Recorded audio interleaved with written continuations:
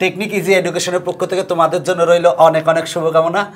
এখনকার পর্বে আমি এই অঙ্কটা সমাধান করাবো। বলা আছে one cube plus two cube plus three cube plus dot dot dot n cube ভাগ one plus two plus three plus dot dot dot plus n equal to two hundred ten হলে এনের মান বের করো। সহজ একটা অঙ্ক। দেখো যে ব্যাপারটা আমার এইখানে লবে যেটা আছে, লবে আছে হচ্ছে প্রথম এন সংখ্যক স্বাভাবিক সংখ্যার ঘনের সমষ্টি আছে, আর হরে আছে হচ্ছে প্রথম এন সংখ্যক স্বাভাবিক সংখ্যার যোগফল আছে।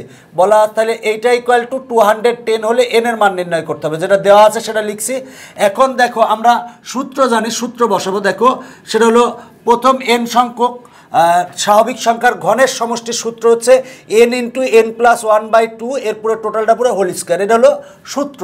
তো আমরা এই সূত্রটা লিখব, সেটা হলো যে n into n plus one by two টোটালটার পুরো হচ্ছে হোল স্কোয়ার এটা হলো প্রথম এন সংখ্যক স্বাভাবিক সংখ্যার ঘনের সমষ্টির সূত্র মানে one cube plus two cube plus three cube plus dot dot dot plus n cube এটা সূত্র হচ্ছে এইটা। এবার one plus two plus three plus dot dot dot plus n এটার সূত্র হচ্ছে n into n plus one ভাগ two মানে প্রথম এন সংখ্যক স্বাভাবিক সংখ্যার যোগফলের সূত্র হচ্ছে n into n plus one by two দেখো, এইটা সূত্র হচ্ছে এইটা আর এইটা সূত্র হচ্ছে এইটা। আমরা জাস্ট সূত্র বসিয়েছি। এই দুইটা সূত্র আমরা জানি এবং এই দুইটা সূত্র কিন্তু আমি প্রথম দিককার লেকচারে প্রমাণ করে দেখিয়েছি যে এই সূত্র কীভাবে আসে। Equal to two hundred ten just সূত্র বসালাম, দেখো এইখানে n into n plus one by two এরপরে আছে হোল স্কোয়ার আর এখানে আছে n into n plus one by two এখানে আছে দুইটা, এখানে আছে একটা, তার মানে কাটা যাবে, যেহেতু n into n plus one by two এটা হোল স্কোয়ার মানে দুইবার আছে আর এখানে একবার আছে। তাহলে একটা একটা কেটে যাবে, কেটে গেলে থাকবে হচ্ছে n into n plus one by two থাকবে।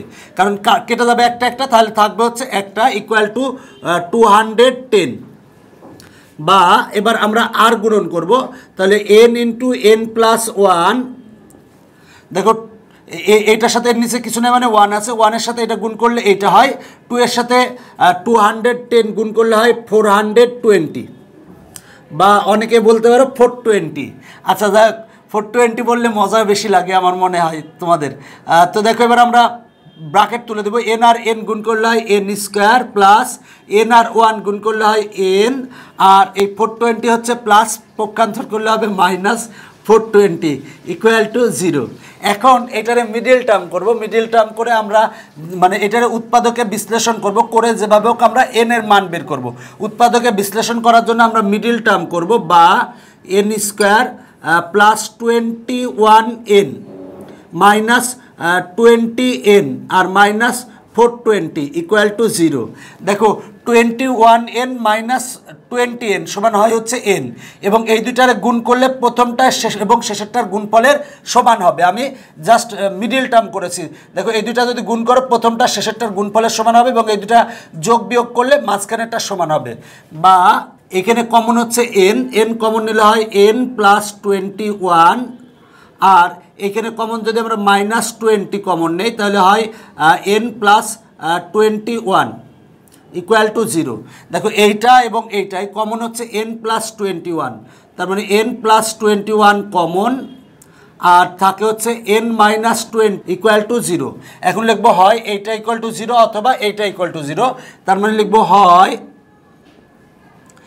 n plus twenty one equal to zero অতএব এন ইকুয়াল টু আসে হচ্ছে মাইনাস টোয়েন্টি ওয়ান দেখো এন হচ্ছে পদ সংখ্যা পদ সংখ্যা কখনো ঋণাত্মক হতে পারে না। তাই লিখব যা গ্রহণযোগ্য নয়। কারণটাও লিখে দেবো, কারণ পদ সংখ্যা ঋণাত্মক হতে পারে না। কেন পদ সংখ্যা ঋণাত্মক হতে পারে না? দেখো যে ব্যাপারটা আমরা এই এই এটাতে আমরা ধারা বিবেচ, এই ধারাটার প্রথম পদ হচ্ছে ওয়ান দ্বিতীয় পদ হচ্ছে টু, তৃতীয় পদ হচ্ছে থ্রি। পদ সংখ্যা কখনোই ঋণাত্মক হয় না। সবসময় পদ সংখ্যা ধনাত্মকই হয়, তাই এই n equal to minus twenty one গ্রহণযোগ্য না।